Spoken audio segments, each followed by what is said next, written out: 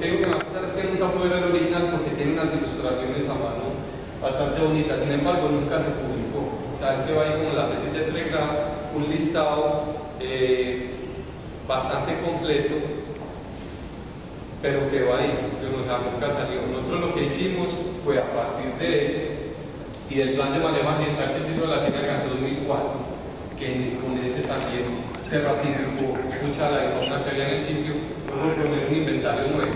Ese inventario nuevo salió primero de una idea que tenía en 2000, que era formular una guía ilustrada para la hacienda. Entonces ya lo que hicieron básicamente fue el diseño. El diseño de una guía teniendo